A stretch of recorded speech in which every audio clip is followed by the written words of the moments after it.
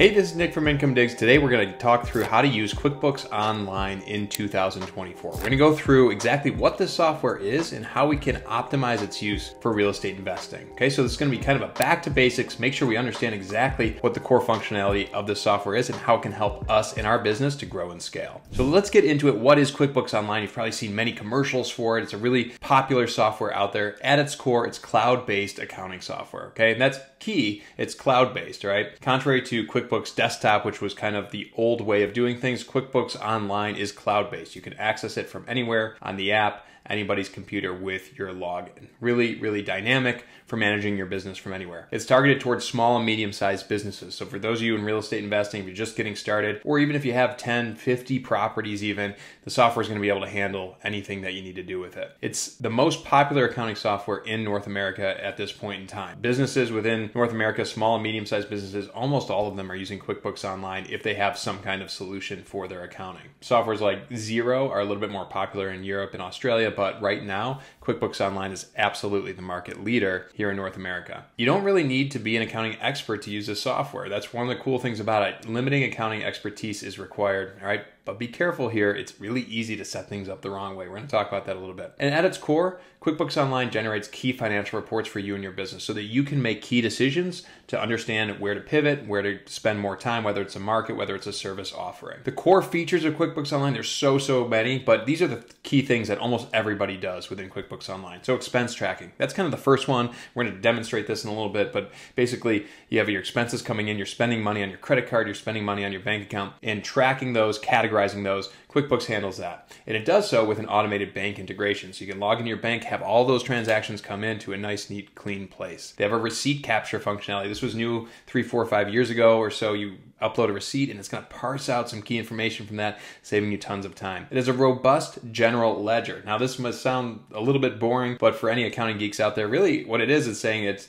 keeping track of things. It's keeping debits and credits in the right place, ultimately giving us a really sound report. This is something that we can't do if we're using something like Excel or Google Sheets. We just don't have that functionality there. Invoicing, all right? So if we're sending invoices to get paid, whether we're doing this for tenants or we're doing this for construction work that we're con- conducting, we're going to be able to invoice our tenants and our customers so that we can get paid. And of course, we can get paid right through QuickBooks Online as well. Inventory management, this is something that you might do as well. If you sell things, sell physical goods, you can track your inventory right within QuickBooks Online. And then the last one on your project profitability tracking. Now, this one is something that QuickBooks Online does, but as you're going to learn in a little bit, there's different ways we can do it and think about it, especially for real estate investors. When we think about the different projects that we have, there's different ways that we can turn on QuickBooks Online to work for us in our business. Here are some of those key considerations for real estate investors. And I'm going to demonstrate this in a second, but we want to think about how do we track financials by property. This is one of those really specific kind of problems to solve for real estate investors is we have a lot of property specific or project specific financial reporting needs. QuickBooks Online can solve some of those, but out of the box, might not be the best. We're going to talk about how we can make it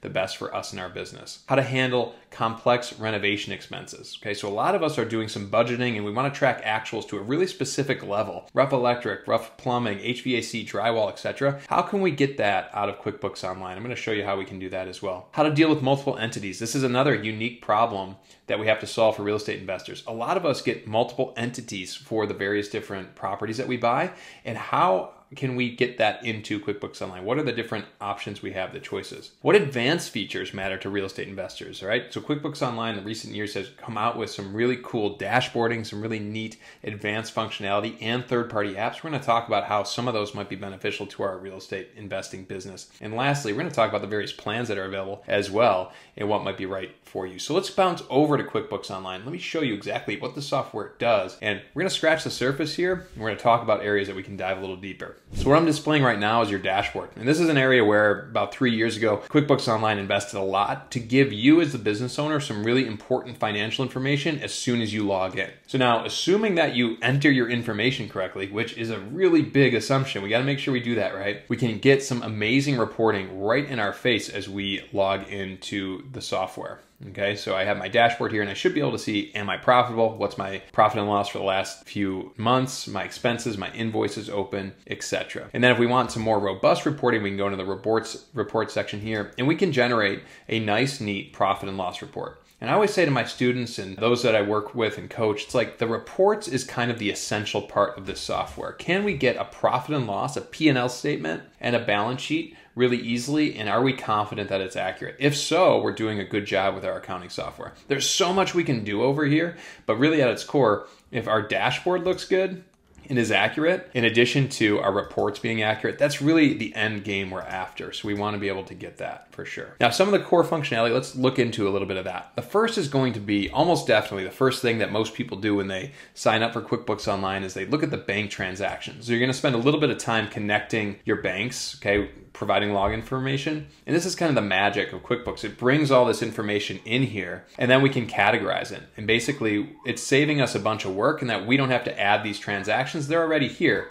All I need to do is indicate, you know, what account or what category we're spending toward. Okay, so if it's something like building repairs, I can put that in here. I can potentially indicate the customer and click add. And it's going to add it to my set of books. Really nice and neat. Okay. So this is one key functionality is this just receipt capture, the monotonous, tedious action of this, having it in one spot. If those of you who are on Excel or just doing it off book here, this is going to be the key time saver for you. All right. We also have invoicing. So if we want to send invoices out, we can have invoices here. Okay. So whether we are invoicing our tenants or customers for whom we are doing renovation work. You can see in the sample set of books, we have a ton of invoices here. We can receive payments right through QuickBooks Online. We can set up reminders, late fees, the whole thing. They've really done a good job of enhancing their invoicing feature for sure. The next thing I want to talk about with you is not only just expenses, but bills. So, kind of the opposite side of invoicing would be bills. And this is managing your accounts payable. So, if you owe somebody money, a vendor, you can add a bill, and that helps you to stay on top of what you owe when. You might not pay this money out right away, but you want to be able to track how much you owe. Really, really useful. And there's so, so many other features here that we can use. Now, I'm going to bounce over to kind of a more real estate set of books to talk about the key considerations that we need to keep in mind when we're thinking about real estate. The first thing I want to talk about is property specific reporting. Okay, so can we within QuickBooks Online see our P&L report or our profit and loss report by property. This is a key differentiator between real estate and some of the other industries out there that use the set of books. And so we can do that. We can do that in one of two ways. Um, we can do it by what's called class tracking or by customer tracking. Now there's pros and cons to each. I typically recommend uh, class tracking if you can. Okay, so class tracking is really, really powerful, and I'm going to show you what that looks like here. I'm to go to a profit and loss by property. And you can see this report here has profit and loss for a specific year. And here's a property, here's a property, here's a property, here's a bunch of properties, and here's my income and expenses. Now I have a percent comparison. I could turn that off to simplify this a little bit. But here I have a really nice, neat profit and loss by property. And this is really what you're after. I'm doing this with class tracking. You don't have to use class tracking. You could use customer tracking. Again, I use class tracking because I feel like it's a little bit more robust and it gives me a cleaner palette here. The other thing is that customer tracking, you're going to want to be able to potentially invoice out to your tenants. So if you're invoicing out to your tenants, then you want to kind of reserve your customer attribute for your tenants. Okay. Now I have a specific video on classes versus customer, the pros and cons of each. One thing I'm going to go over when we think about the plans and pricing, class tracking is only available on QuickBooks Online Pro and beyond. All right, so keep that in mind. The other thing I want to talk about is detailing out your renovation expenses. So we talked about how as real estate investors, we're often tracking or at least budgeting to electric, HVAC, plumbing, right? So can we potentially within QuickBooks Online track to that level of detail? And we can absolutely do that with, with what's called the products and services. So within the products and services here, I've uploaded a list of these categories, and these are more detailed than my chart of accounts or my categories to that are going into my P&L or my balance sheet. These are way more detailed, okay? And what we can do with these is we map them to our profit and loss and we say, hey, when I use this account, it's going to map to this expense account. What this opens up for us is a really robust potential for reporting. And actually, I'm going to show you another way we can track by project, which is the projects tab here. If I go into my project here, I'm going to see a bunch of rehab expenses. I can drill down into this because I've been using products and services and I can show that level of detail.